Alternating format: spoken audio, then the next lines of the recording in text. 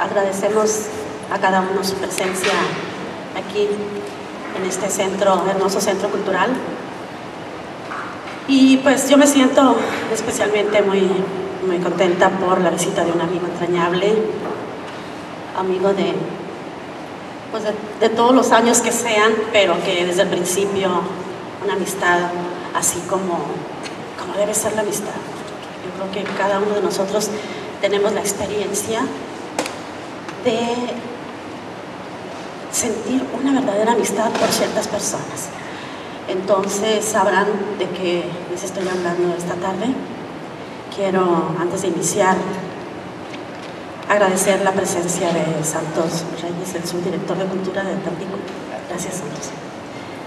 Em, y por supuesto, agradecer a la directora de este centro cultural, Elvio de Altamirano, tu apoyo siempre puntual, tu apoyo siempre cercano, Elvia, siempre afectivo, pero especialmente tu presencia, tu compañía, casi inamovible, ¿no? Cuando no, has, cuando no has podido venir es porque estás fuera de la ciudad, pero siempre estás aquí. Muchas gracias, Elvia. Gracias a la familia Huasteca, que aquí veo muchas caras conocidas y queridas.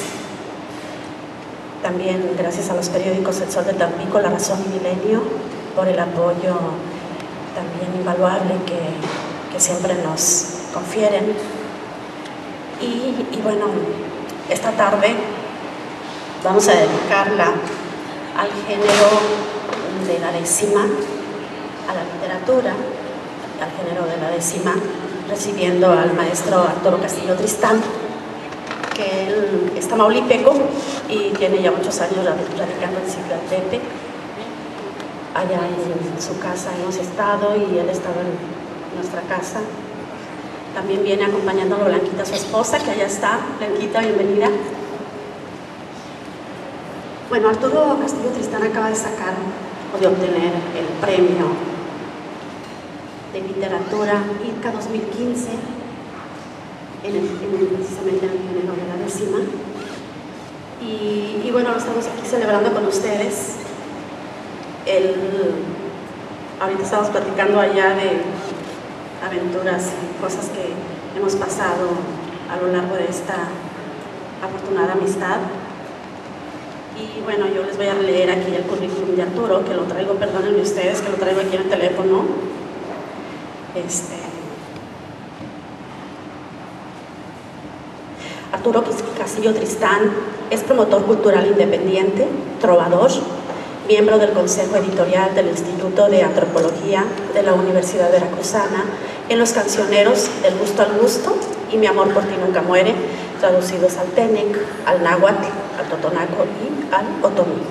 Es creador con Alec Dempster de la Lotería Huasteca, que ya la tengo yo esa lotería las publicaciones Manual para inducir a la versificación, Converso con rima, Así me pinta la aurora, Refranero decimal, y lo que vamos a leer esta tarde que es Voz de un olive pitol. El que les mencionaba, acaba de sacar el premio de, literatura IPCA y que va a ser próximamente publicado. Esa es una muy buena noticia, ¿no? Que, que tengamos los premios y, que se publiquen pronto. Arturo Castillo Tristán ha participado en 10 festivales de la Huasteca desde 2006, en cuatro encuentros de decimistas de América Latina y el Caribe y ha participado también en diferentes foros culturales de la República Mexicana, los Estados Unidos, Panamá y Cuba. Y, bueno, Arturo, eh, de que eres, de que eres muy querido aquí, eres muy querido. Y, quería preguntarte antes de que te dé el uso de la palabra, porque aquí lo que todos queremos es escucharte a ti. Quiero preguntarte, quiero hacerte una pregunta que, tres preguntas, pero que realmente son una. Quiero preguntarte algo que anteriormente amigos escritores les he preguntado. ¿Por qué escribir? ¿Por qué escribir? ¿Para qué escribir? ¿Y para quién escribir? Bienvenido nuevamente, muchas gracias a todos, creo que lo vamos a pasar muy bien. Yo le decía a Arturo, y se lo he dicho en otras ocasiones, que su trabajo literario a mí me emociona especialmente porque lo que él escribe es, ahí, plasma su corazón, plasma su pensamiento, su pensamiento de hombre de bien. Él con sus palabras honra la literatura, con, con lo que él escribe nos produce siempre un gozo, siempre algo positivo. Él habla de, de nuestro país con una, con una emoción fuerte, profunda, habla de, nuestros espacios naturales con, esa, con esa singularidad porque, porque encierra una, una, emoción. Yo le digo, cuando tú lees, cuando tú hablas, cuando nos lees tus textos, estás sintiendo una emoción que es imposible no transmitirla. Por eso nosotros también eh, sentimos, sentimos esta profundidad de los temas mexicanos. Te lo dije yo cuando supe del premio. Nosotros, tú haces nuestro lo que escribes. Por lo tanto, bueno, ya te dejo aquí con el uso de la palabra y creo que al final iremos a, a unas preguntas. Agradezco mucho también a María de la Luz Mayorga Morales y a Roberto el apoyo que siempre nos dan con la difusión de estos eventos que hacemos en la zona. Gracias. Gracias, Amparito. Buenas tardes a todos. Y para mí es un gusto siempre estar cerca de ti, adorable Amparo, porque en realidad nos armonizas, nos conduces de alguna manera a este, a este, eh, digamos, a este lugar de las musas. Y qué bueno que, que tenemos esa, esa, esa amistad, esa es el compartir tantas cosas. Gracias también a la señora Elvia, que en varias ocasiones hemos visto, hemos, eh, he visto aquí cuando he venido las pocas veces, qué bueno ¿no? que nos acompañen a, Santos, a las tamanchanes que aquí están presentes, eh, y pues a todos los amigos que de una u otra manera pues nos dan el calor, el cómico para hacer lo que, lo que nosotros queremos hacer. Pues ¿para qué? ¿Para qué escribo? En realidad, eh, yo creo que cada uno de nosotros a veces tenemos ahí nuestro, nuestro librito y hacemos cosas. Y escribimos para, para sentirnos bien, para expresar o, o, decir lo que queremos a veces, o lo que no podemos decir, tenerlo ahí para que en su momento podamos recrearnos. A veces somos egoístas, lo escribimos nosotros, y nosotros mismos sabemos que escribimos nada más. Pero cuando en una ocasión platicando con un amigo, entrañable amigo que ya no está, David Celestino, que estuvo en casa como dos meses haciendo ahí unas cosas, y me decía, bueno, si tú escribes para ti, pero ¿y los demás? ¿Por qué? ¿Por qué no enseñas lo que tú escribes? Los demás también están interesados en, lo que alguien diga, en lo que alguien piense, porque tú vas a llegar a alguien. Entonces escribimos para alguien, para a veces para nuestro propio, ¿cómo leer? Para desahogar alguna situación, alguna emoción, para dibujar todo lo que vemos, pero también para, para alguien más que, que, que en un momento no, no tiene esa, esa, esa facilidad para decirlo. Una vez me encontré con un amigo y dice, yo quiero que digas esto y esto y esto y esto. Pero ¿por qué no esto? Porque yo no puedo, ¿por tú lo quieres decir? Tú lo puedes hacer algo. Y yo estoy ofendido, estoy hablando de política, estoy esto, era en el 88, no recuerdo por ahí, pero una de esas fechas. Entonces, pues eh, quise, quise tomar eh, el sentir de él para decirle, bueno, aquí está. Y qué bonito cuando dice, eso es lo que quería.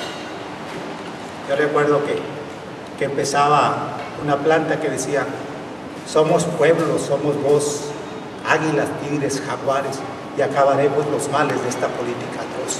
Por ahí empezaba la planta. Y ya, y cuando me dice, yo quería esto, eso era lo que yo te decía.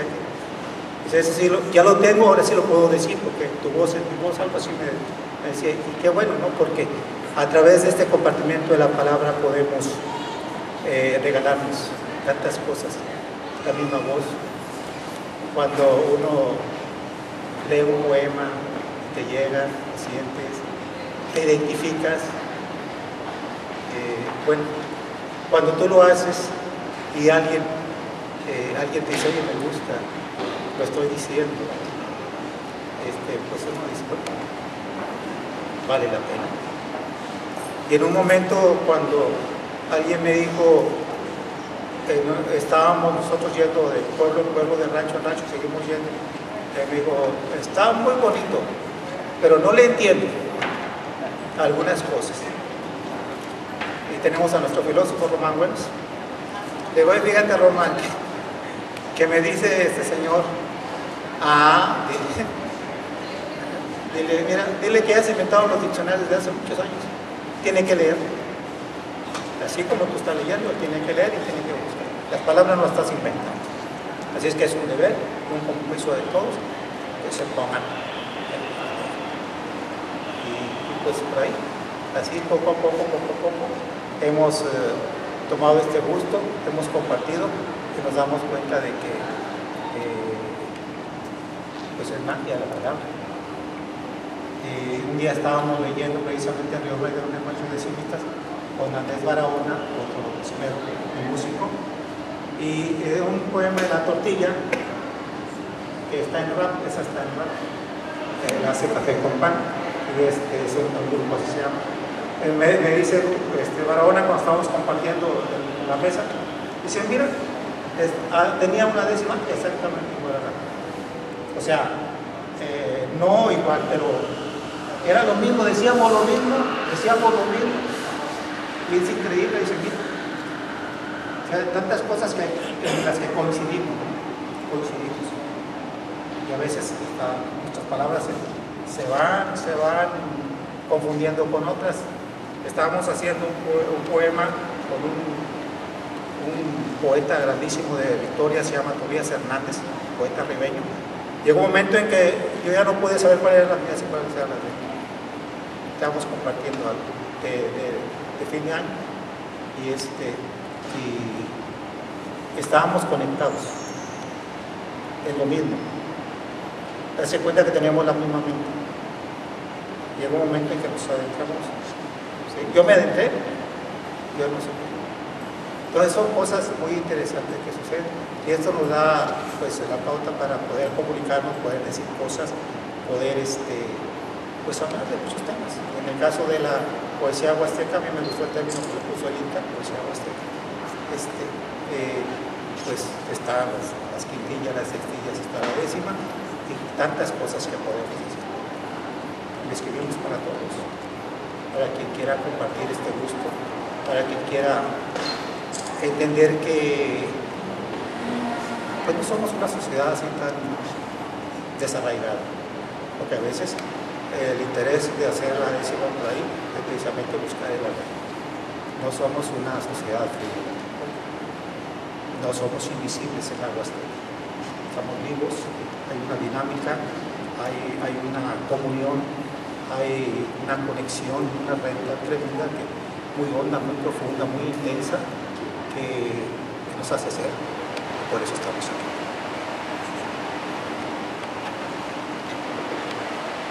Bueno, entonces eh, damos inicio en el orden que tú me digas vas a leer o, de memoria lo que tú dispongas a hacer, ya esta tarde es para ti.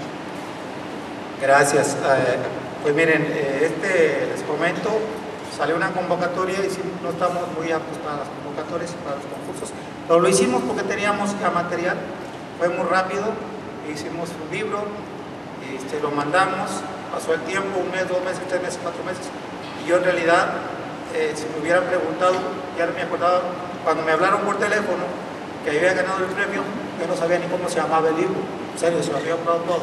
porque andamos para acá y para allá, para acá y para allá. Entonces, y, de sé. Sí, así es que las vamos a leer. Algunas ya, ya hay como dos o tres. Y hay una que, que yo hice y se, me perdió, entonces volví a hacer otra. Y, recuperé la primera que se llama El Tiempo. Pero, este, pero no se parecen, aunque, aunque las, eh, digamos, el mismo, vayamos por el mismo cauce, este, nunca hacemos una cosa igual, como los, los trovadores en el, en el son huasteco. Hacen un verso, hacen otro verso, hacen otro verso, y nunca hacen un verso igual. Siempre le van poniendo lo suyo, siempre está ahí esa chispita y ese momento. Entonces hice esto y en realidad yo no lo hice, eh, eh, puse voz de un Oliver Quito, ahorita platicamos de esto. No lo hice, este, no hice ni la introducción, nada más agarré, hice un índice. Y en estos días precisamente hice el, el tema del libro, soy un Oliver. Se lo voy a leer. Ando un poco este, desgastador, un poco trasnochado, pero este, ojalá que ayude la fuerza y empezamos con esto. Y ya después cualquier, cualquier, este, cualquier duda, cualquier pregunta, estamos abiertos. No quisimos posponer la fecha a pesar de, un poquito de lo físico, pero yo creo que era necesario también para su recuperación, pues que estuviéramos juntos. Así lo, así lo platicamos. Así lo platicamos y para mí es un gran gusto estar aquí. ¿sí? Estoy fuerte, pero, este, pero me nada más de énfasis, yo creo, para darle eh, toda la emoción. Lo trataré, yo creo que sí, sí se va a poder. Entonces eh, hice esto, incluso lo traigo hecho a mano, eh, porque en estos días, bueno, pues vamos a empezar con lo del tema. Sigo bien sin. Dice. Nací entre los huizachales en el sur de Tamaulipas. Los jacubes y las pitas fueron sustentos formales. Corriente los vilcahuales como macuachi coyol. Me acarició el arrebol entre el erial y la breña. Y en esta ruta sedeña soy un olive cuitol. Soy un olive cuitol en el estío cuando llueve. Hierba buena, flor, chicheve, mecapal y chochocol chiquihuite, girasol, cojollito de la quiche, un minúsculo acapiche, ciervo, balal, jabalí, soy de una allá y de una aquí, con su porción de caliche. Dígame, cuitol a mí, yo olive del Tamanchán. Soy un castillo tristán, es decir, ajonjolí, frijol, caña, salsifí, jehuite de Tampemol. Así me persigue el sol desde aquellas lejanías, por eso todos los días soy un olive cuitol como vereda de Choy y pétalo de biznaga, la luna, lunita maga, me guía por donde voy. El alba dice que soy herbanís, lirio y mentol. Soy un todo en el crisol del día que me pregona y con la tarde sazona. Soy un olive, tol.